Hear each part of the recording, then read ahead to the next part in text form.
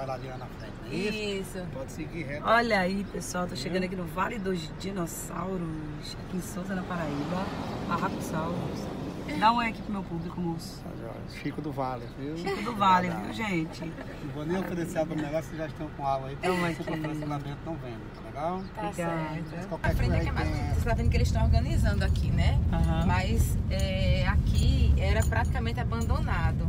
Até que alguns empresários de Souza resolveram é, revitalizar o vale. Show. E aí nós temos a maior trilha de pegadas do mundo, tá aqui em Souza. Inclusive nós tivemos duas pegadas que foram roubadas daqui. Nossa. Literalmente roubadas.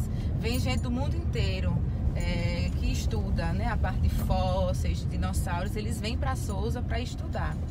Show! E aí. Sempre tu-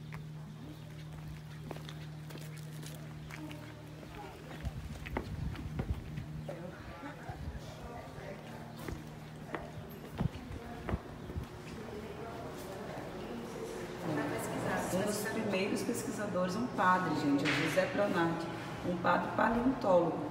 Interessante, né? Ele deixou aqui de lembrança o equipamento que ele utilizou quando começaram a descobrir as primeiras pegadas de dinossauros. Que fazer essa espécie. Aqui mostra os diferentes tipos de pegadas, pegada de carnívoros e herbívoros, porque aqui tanto passaram o carnívoro como os herbívoros.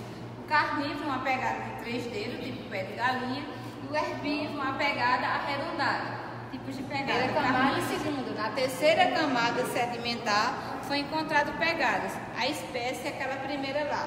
O Nossauridae, uma espécie carnívora, tipo Velociraptor. Tanto no primeiro expositor como no segundo, são pegadas conhecidas por terópodo, uma espécie carnívora, maioria de adulto, mas também pegada de filhote. Como eu falei para vocês, o vale percorre 704 km quadrados, Gente, aqui, ó, aqui um fóssil que foi encontrado da perna um dinossauro. Quando foi encontrado, na Lagoa do Fogo, o estudo aqui né, com as células para descobrir qual a espécie.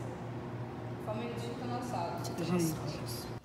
Aqui também é mais um rio aqui do vale, olha, totalmente seco. Eu nunca vi um rio seco na minha vida. Eu nunca vi. Eu acho que não. Mas foi Nossa, gente. A seca do Nordeste, né? É. Aí os rios secam, tudo seco, as plantas secam. Esse só eu já tô correndo. A descoberta dos rastros começou aqui, gente, ó. Aí tem todo um caminho. Olha ali, sério. Aquilo ali? Ah, Mentira! Meu Deus, isso foi com escavação? Não, escavação já é outra. Mas essa aqui é? Ela já estava exposta. Gente, que demais. Pode falar, amiga. Olha aqui, pessoal. Essa trilha de pegadas, ela ficou conhecida mundialmente como uma das maiores trilhas. Aqui existe 53 pegadas. A espécie que passou por aqui foi uma espécie herbívora, conhecida como Ingonodontidae. Ele pesava aproximadamente 5 toneladas, 5 de altura e 10 de comprimento. E essa outra que cruza, uma espécie carnívora conhecida por abelissauros. Aquela réplica que vocês observaram lá na frente do museu. Como vocês estão observando esse buraco, foi uma pegada retirada no ano de 1924, levada para os Estados Unidos, não devolvida. Aquela lá também, outra pegada retirada no ano de 1930, levada para a Inglaterra, também não devolvida. Ou seja, levaram para estudo, só que não devolveram. Naquela época não existia nenhuma lei que fosse proibida a retirada. Hoje não, hoje a área é preservada. Essas falhas que vocês estão observando vai permanecer até o final da trilha. Chama-se falha geológica do tempo. Na época em que eles passaram por aqui, isso aqui era uma argila. A argila se pratificou e fossilizou, segundo os pesquisadores, de 110, 120 a 130 milhões de anos. Essa água era para ser presa. Aqui tá vendo as camadas de rocha sedimentadas, olha. Aqui é o rio. É. Quando ele enche, cobria aqui. Então, para proteger as pegadas, foi feito aquele outro canal que eu mostrei antes, ali uma barreira. Para não destruir, porque é essa trilha aqui, essa aqui tem várias outras de pegadas para lá e outras lá ainda que nós vamos o olhar. seguinte, você que vem aqui também vai levar uma lembrancinha aqui do vale. Obrigada, moço. A amiga Aline, né? Do Vale dos Dinossauros, a nobre amiga. Que legal. Mais perto um pouquinho. Eles não assustam, cara. Que, que fofura, parece um gato, sei lá, misturado com macaco. O que, que é isso o nome?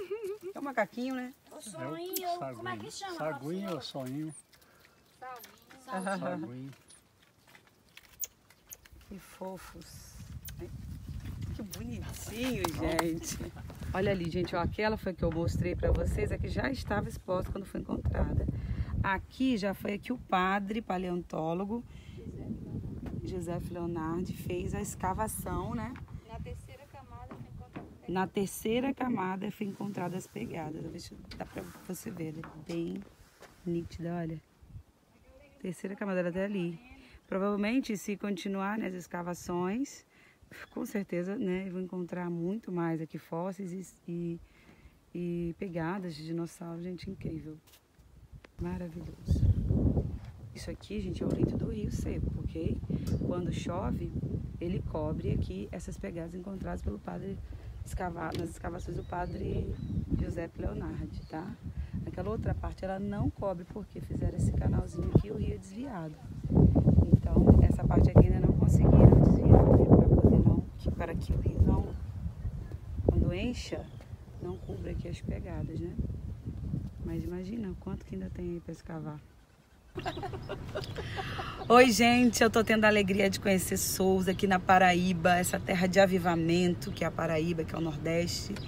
E com essas irmãs queridas que são presentes, né, de Deus, que chegaram até mim através das canções. Elas deram testemunhos incríveis aqui com a música Fogo Alto, Entra, A Menina dos Olhos de Deus, Deus é Fiel. E elas estão aqui contando Souza é uma cidade do milagre eucarístico. Aqui, aqui aconteceu um milagre eucarístico comprovado pela igreja. E aqui está, vou mostrar para vocês, a primeira igrejinha que foi construída em Souza. 1824. E ela, em 1824, quando aconteceu o milagre. Fala pra gente como foi. É, conta a história que na igrejinha do Rosário, o padre estava entregando, entregando a hóstia e um escravo é, muito forte e fala que ele é negro e assim bem forte. Ele pegou a hóstia e aí tentou ainda colocar na boca, mas saiu correndo com ela na mão. E aí as pessoas ficaram assustadas e não sabiam o que estava acontecendo, mas ainda tentaram encontrá-lo e não conseguiram porque ele correu muito. Mas alguns dias depois foi encontrado a hóstia, eu vou mostrar onde foi, e ao redor da hóstia, na grama, os carneirinhos estavam ao adorando redor Jesus. adorando Jesus. Então isso aí ela estava intacta. A hóstia, Jesus estava intacto na grama ao redor dos carneirinhos. Que lindo, vou mostrar para vocês a igreja.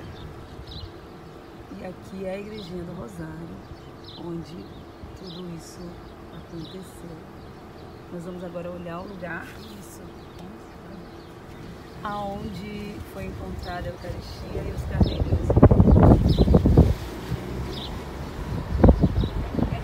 Aqui bistrô. Aqui é a catedral, é a, a matriz, matriz, a igreja matriz. Nossa Senhora dos Remédios. Nossa Senhora dos Remédios.